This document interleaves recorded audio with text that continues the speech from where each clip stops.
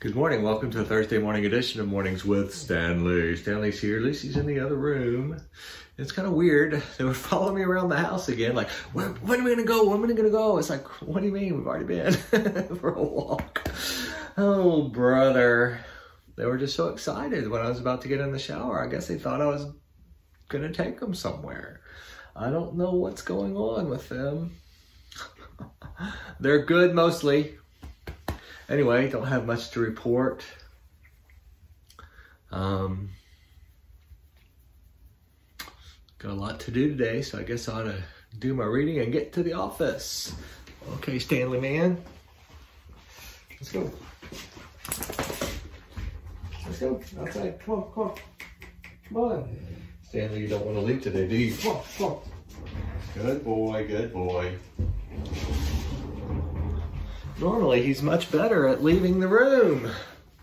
Well, here is our reading for today. Thursday of week 26. Into his likeness. I am departing from the in Christ passages to put an, an in to put in an into passage. And we all, with unveiled face, beholding the glory of the Lord, are being changed into his likeness from one degree of glory to another. For this comes from the Lord who is the Spirit. That's 2 Corinthians 3.18.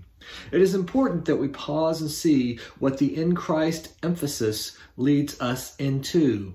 This passage makes it, clear, makes it clear that to be in Christ means we are being changed into Christ's likeness.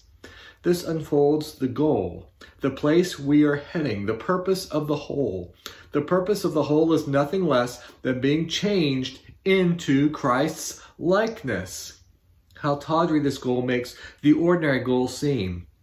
To get to heaven, to escape hell, to be happy, to be healthy, to be successful.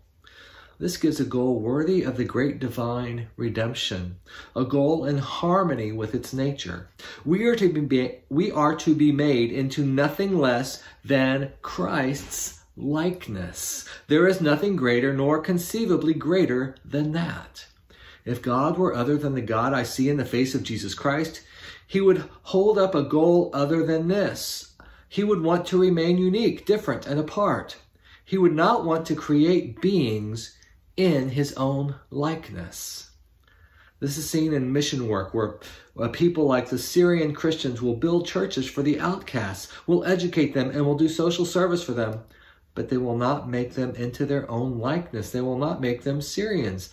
Missionaries in Africa are often horrified when the African wants to be made into their likeness to adopt their customs and mode of life.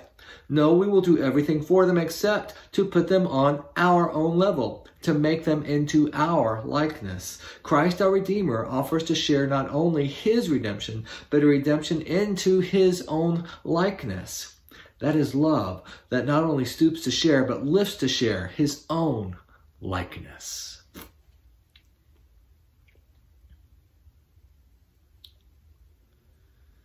Here is our prayer for today.